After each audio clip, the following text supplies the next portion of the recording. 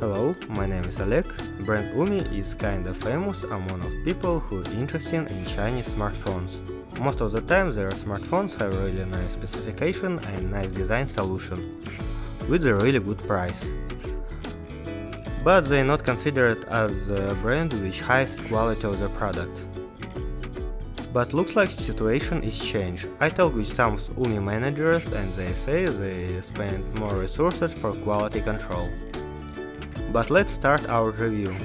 New UMIDIGI Note C2 run on Oven ROM and compared with UMIDIGI Note C it have 4GB of RAM and 64GB of built-in memory, which possibility updated to 226GB. At the first glance you won't see anything special at design.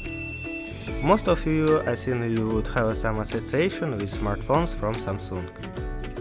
At the front side of the phone you could see 5.5 inch screen produced by Sharp and have a Full HD resolution which give you 480 dpi. At the top of the phone you could see the speaker grill, front camera and LED indicator. From the bottom here is the fingerprint scanner at the center and function button from the sides. Fingerprint scanner don't show amazing result compared with more high-end devices, but in this price range it works quite well. Black shell of the phone made from the plastic and have a Umi Digi logo at the middle and 13 megapixel camera with flashlight at the top. As a connection port phone is have micro USB port and also have 3.5mm jack. A phone support 2 nano SIM card or 1 SIM card and 1 SD card uh, up to 256GB. What is in my opinion good enough. Phone have a 4000 mAh battery what at the first glance sounds impressive, but don't forget two things. First is Full HD screen, and second their own ROM. In terms of battery life, uh, phone kind of similar with Xiaomi Redmi 4, which have almost same battery.